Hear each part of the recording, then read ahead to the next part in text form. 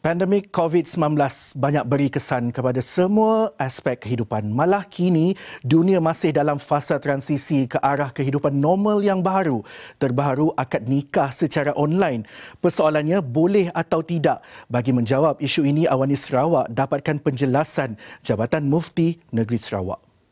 Sebenarnya negeri-negeri di Malaysia telah pun mengeluarkan fatwa tentang keharusannya dan JAKIM telah pun mengeluarkan garis panduan bagaimana ia dilaksanakan.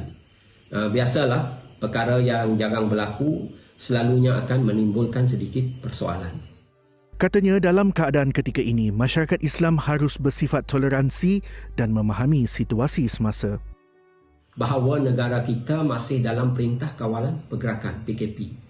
Maka kita perlu berlapang dada dengan situasi ini dan kita sama-sama berdoa supaya musibah ini akan segera hilang dan kita dapat kembali kepada kehidupan yang normal.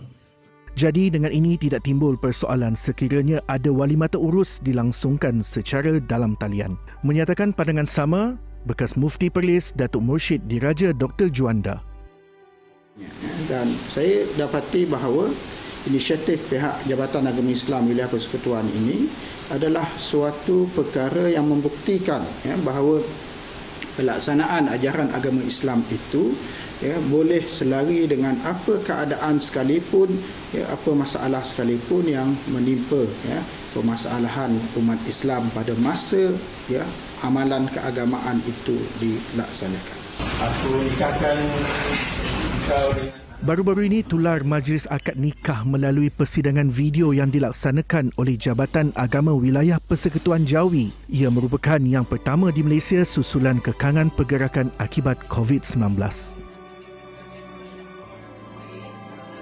Nikah online tu satu benda yang baru yang mungkin kita si pernah nangga sebelum tu.